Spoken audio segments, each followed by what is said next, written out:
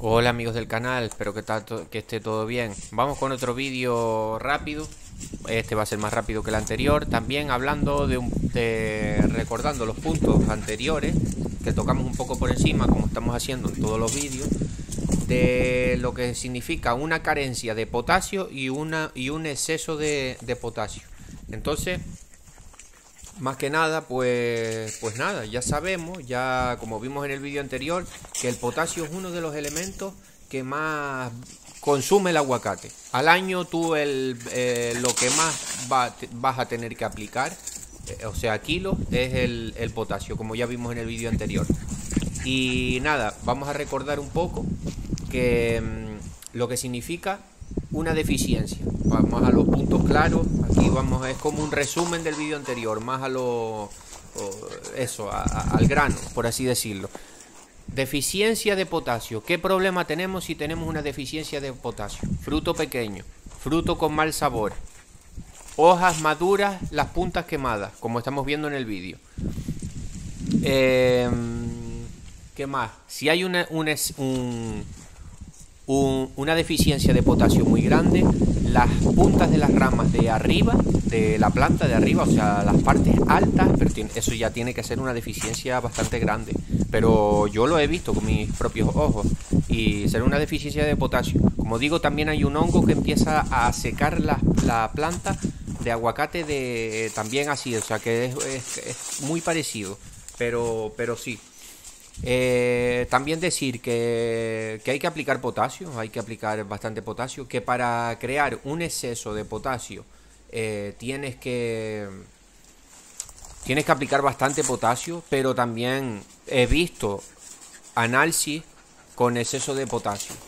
Eh, ¿Qué pasa? Y esto mucho también la gente más antigua que no hacía que eso, que no su cultivo, cuando empezaron a llegar los abonos químicos, por ejemplo aquí a las Islas Canarias, y mucha gente mayor que todavía tiene su pequeña finquita, sus pequeños árboles de aguacate y se saca un dinerito extra así en... Pues eso, un dinerito extra que nunca viene mal. Y, nada, lo que prácticamente aplican es potasio, sulfato de potasio o nitrato potásico, o más bien sulfato de potasa, sulfato potásico porque es hasta más barato. Y, claro, ellos tienen en la, en la mente que, Claro, ellos ya saben que el potasio es para engordar la fruta, pero ya nosotros que estamos un poquito más tecnificados y hacemos las analíticas y hacemos las cosas como tenemos que hacerlas, sabemos que si hay una deficiencia de cualquier otro elemento, por mucho potasio que tú le eches a tu planta, el fruto también se te va a quedar pequeño, aunque tengas la planta alta de potasio. Si, falla algún otro elemento, o imagínate que fallen varios, porque claro, eh, vuelvo y repito, hay mucha gente mayor que solo aquí en las islas utiliza guano arcoíris que piensan que tiene de todo y el, abono arcoíris.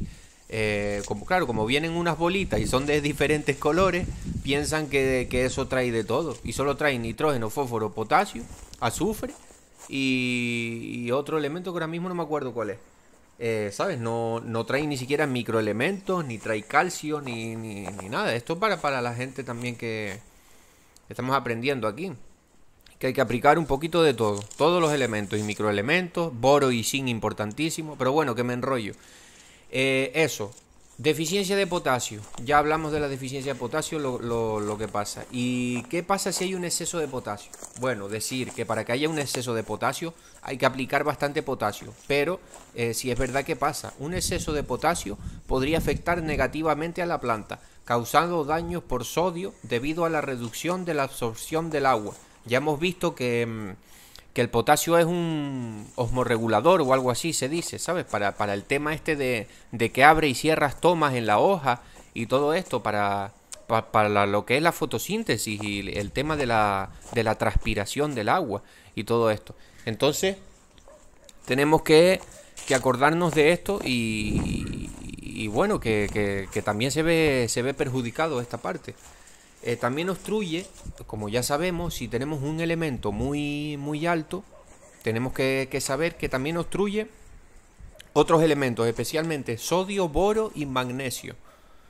Eh, acordémonos de esto. Si tenemos potasio muy alto en, nuestro suelo de tierra o en nuestra planta o en, nuestro suelo, eh, porque hemos aplicado demasiado potasio, nos va a bloquear el sodio, que sodio, sodio son sales, sodio no sé, quedaos más bien con que bloquea el boro y el, y el, el magnesio. Eh, hay dos, está el magnesio y el manganeso. El magnesio también es un, se puede decir un, un, elemento secundario, lo puedes aplicar de vez en cuando también, aunque no lleva, no, tampoco lleva mucho, lleva más calcio que magnesio el aguacate, por lo que yo he visto. O claro, es que eso depende, es que por eso hay que hacer los análisis, no, no nos podemos poner a decir cosas, como estoy yo diciendo ahora, porque es que cada, cada tierra y cada sitio en el mundo es diferente, entonces Claro, al igual esta tierra mía por aquí en, donde yo tengo mis árboles, pues es más alta en, magnesio. O mi agua, también, esto no lo he comentado, voy a comentarlo ahora, también es importante hacer un análisis de, agua. Pero, por eso no lo he comentado, pero por lo menos lo básico, básico, básico de así del tema del agua es por lo menos eh, saber a qué pH te está viniendo el agua.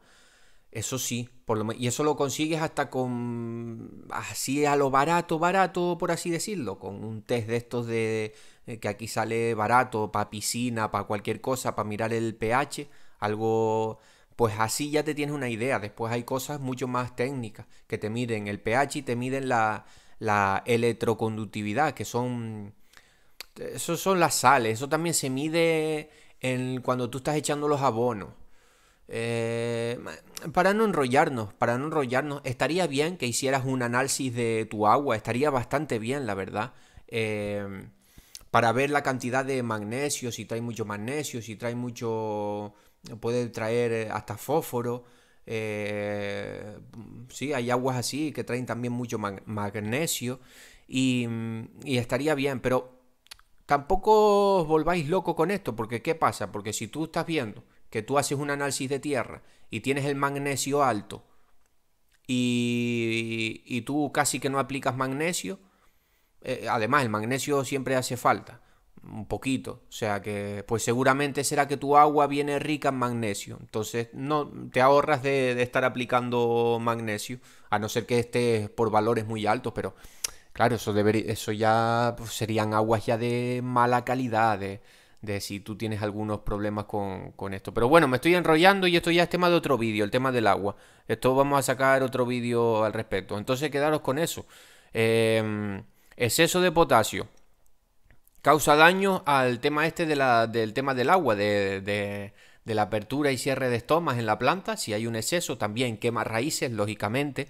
Si tú estás, porque esos son sales, si tú estás aplicando, por ejemplo, un nitrato potásico, un, un sulfato de potasa, que es eh, azufre con potasio, eh, si tú estás aplicando todos estos abonos, que al final del cabo son, pues, son abonos químicos, eh, pues tú, esos son sales.